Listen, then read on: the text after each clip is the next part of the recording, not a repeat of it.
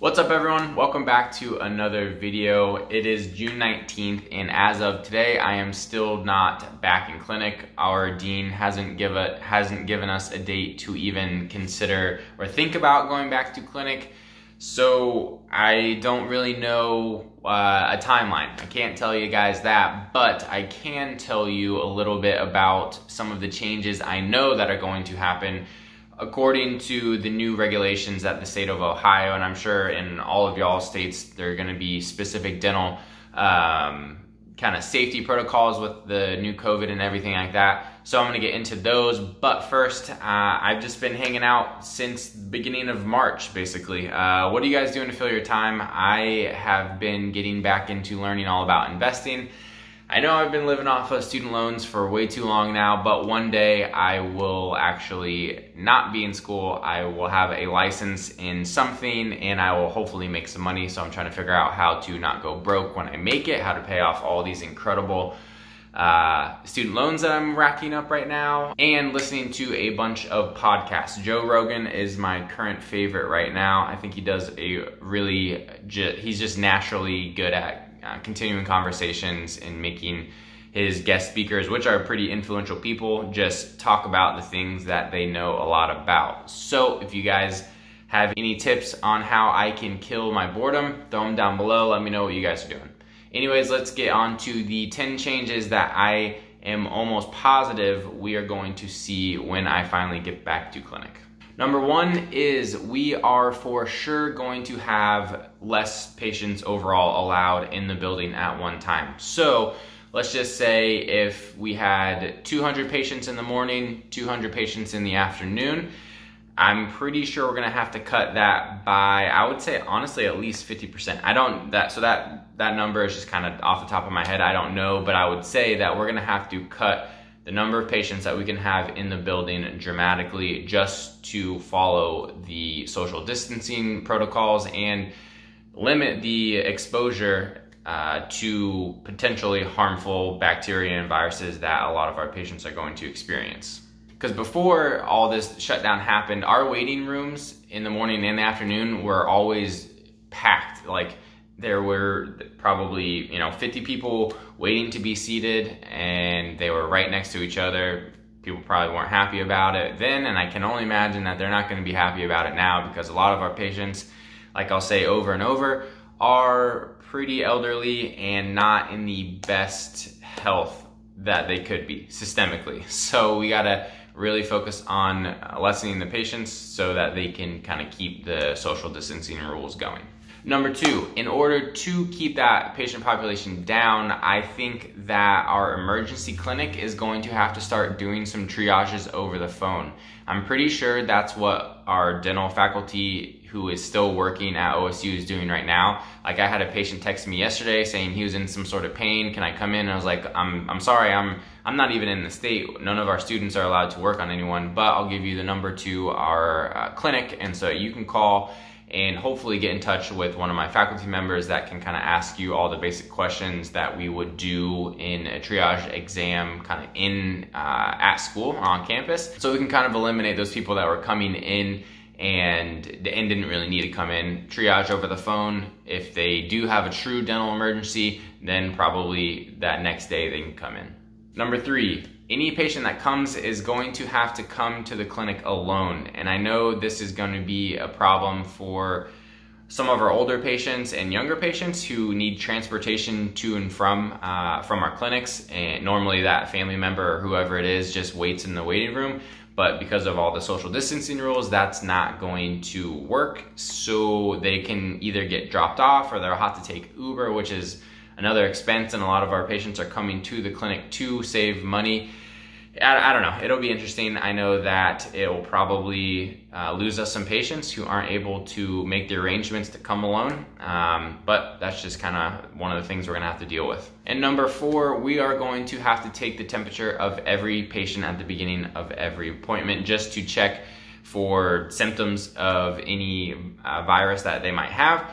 So I don't think that's going to annoy very many people and it'll only take, I don't know, maybe 30 seconds at the beginning of an appointment. So that's not a big deal, but something that we're gonna have to do going forward that we never did the previous couple years in clinic. Number five, and a huge reason why we aren't actually in clinic sooner or right now is the new PPE or personal protective equipment. I know that N95 masks are going to be mandatory for any operative procedure. I don't know if they're going to be mandatory. I, would, I think they are going to be for any procedure like dentures, even though you're not um, drilling on anyone. I think we're still going to have to wear those. We got we were supposed to go into campus and get fitted for N, N95 masks so that they have a tight seal around our mouths. I think they had small, medium, large, extra large, uh, but we'll see how that is in the future.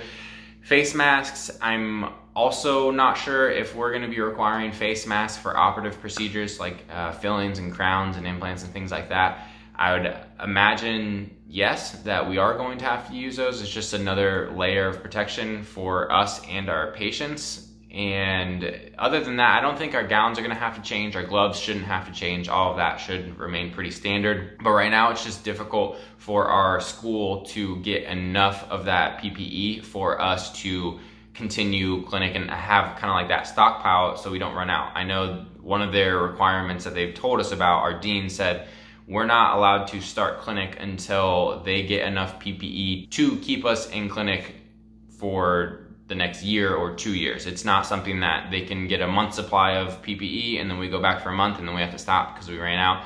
So we are waiting for OSU to find the manufacturer or, or supplier to supply us for uh, indefinitely, basically. Number six is going to be where we actually do our procedure. So we have, at OSU, we have two clinic floors.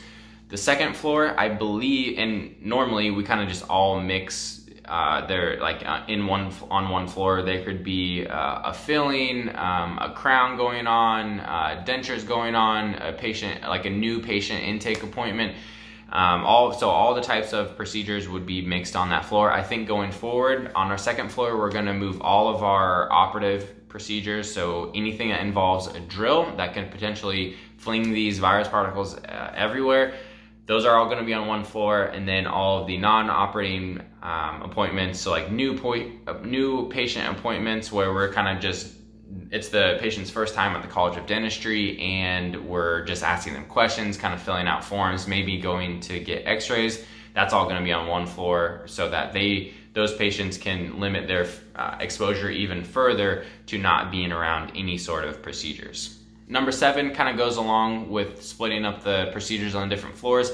Anytime on our second floor that we do have dental procedures, I believe we're gonna require an assistant and that assistant is going to have to use a high volume evacuator, which is, is like the suction that we use. It's gonna have to be a really good one, uh, probably special hoses to make sure it's collecting as much uh, like saliva and debris that could get flung into the air into the tubing and I'm sure it's gonna go get sanitized somewhere, I don't know. But I do know that they are making modifications to our operatories to fit into the current regulations and that's something that we've never had before. Uh, when before when I was doing a filling, I could have one of my friends assist me, but I know most of the time they're always busy, so we kind of just do things on our own.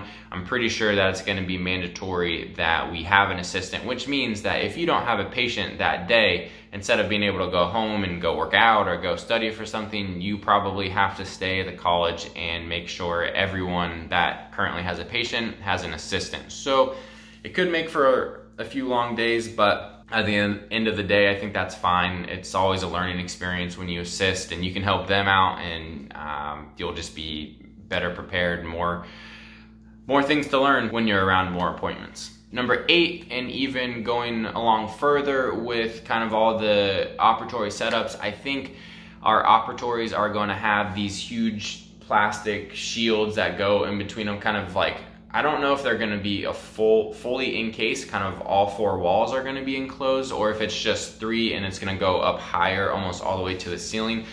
Uh, I think our school emailed us some 3D renderings. I was trying to find it to throw up a screenshot, but I couldn't at the moment. Uh, if I can find one by the time I'm editing, I'll, I'll throw that in there. But I know this is going to delay us because we are getting a brand new clinic and they had all these operatories made, but then this whole thing happened and they had to make changes to those operatories. So I am not sure if the construction time for those is gonna delay us even further. I hope not, but that's uh, TBD. All right, so number nine and 10, these are purely speculative. On those previous eight, I, I kind of knew, I looked up some of the new regulations that were going on, and I'm almost positive that those are gonna be the changes that we have to do as well, but these last two aren't. These are just what I'm, I'm thinking is gonna happen or hoping is gonna happen. The first one is about our graduation requirements, which is a huge deal.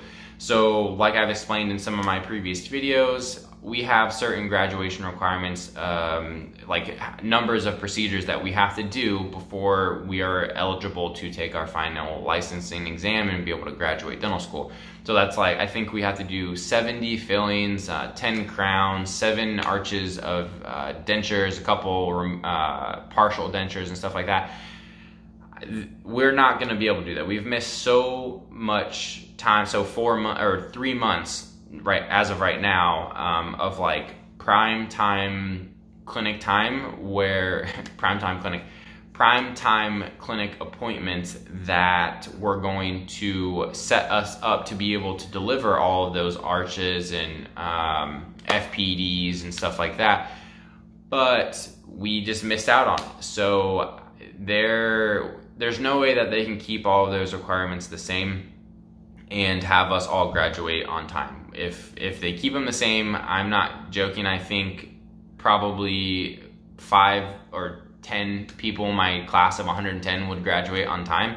So I really, really hope our dean and the Ohio Dental Board is making the appropriate kind of uh, adjustments to those numbers. And I'm absolutely not for graduating any of my class unprepared. I, I, I don't want to practice unprepared. I don't want a, a whole fleet of new young dentists out there not having the experience that they need. But I think if we could go off of competencies, so instead of having um, to do 70 fillings, let's bump that number down to maybe 40 fillings and have us pass a competency and have that competency be, be very strict. So that uh, dental faculty has to let us do it completely on our own. And if we do, if we show competency that we are capable of doing like a, an amalgam filling or a composite filling on our own, class two, class three, whatever it is, um, let us pass. Don't make us do that extra 30 just as busy work because we're not gonna have time and that's going to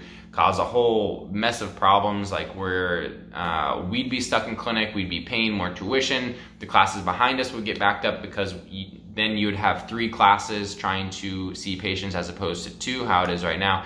Anyways, a whole mess of problems that would come from keeping the requirements the same. I'm not sure exactly how much you can drop those numbers because we do need to be trained and have experience uh, and get ready to see actual patients on our own but there is something that needs to be done and I'll keep you guys posted on that because I'm going that's going to be one of my main areas of focus or what I'm most paying attention to when I go back. And the last thing that I believe is going to change when we go back is before, since we've taken three months break as of right now, who knows how long it's gonna be, they, none of us had picked up a drill in that time. So we've kind of lost a lot of our hand skills. I'm sure so I'd imagine they are going to make us go back to our pre-clinic lab and drill on plastic teeth for a week or two to kind of get back in uh, in the habit, develop our fine motor skills with our fingers to make sure we're not going in, seeing a patient and doing a procedure that we haven't done in a few months, and which I'm not mad at, mad at at all.